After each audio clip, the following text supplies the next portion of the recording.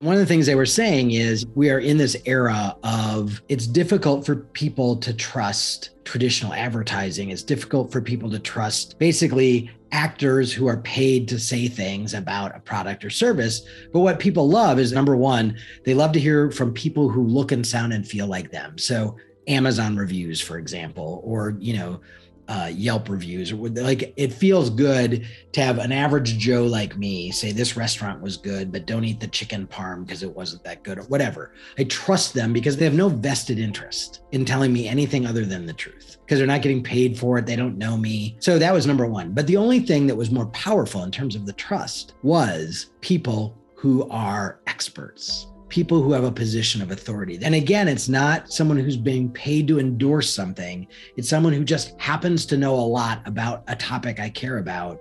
So I am trusting them because, again, the world has deemed them a subject matter expert. So, you know, they were talking about professors, they were talking about certain professions, but they were also talking about business leaders who have a depth of expertise around a niche or a specialty. You cannot be an expert in everything. And so you can't just declare yourself, I am a thought leader on all things, and then start creating content about everything. And this is where I think a lot of coaches, consultants, and agencies run into trouble is because they are afraid to narrow down the focus enough that they actually could be seen as an authority. And again, part of narrowing your focus means, and this is, I think, where everybody gets afraid, right? When I narrow my focus and I say, well, I don't need a million YouTube followers, I need a couple hundred YouTube followers that are actually engaged or whatever, then immediately the business owner mind goes to, but that's not enough people to sell to.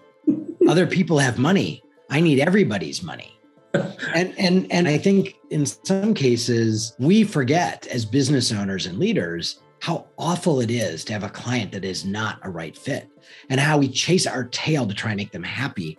And we struggle to try and meet their needs and we lose our shirt financially because we are constantly trying to be good at something that we're really not that good at. And so it's not our area of expertise. And so we it's, it's a stretch for us and we end up spending so much more time than we would if we were working with clients that we already knew their business. We already understood their problems. We knew how to solve them because we've done it a million times. That's so much easier and more and frankly more profitable. That should quell our fears about narrowing down. But boy that is a huge struggle for everybody as i know you see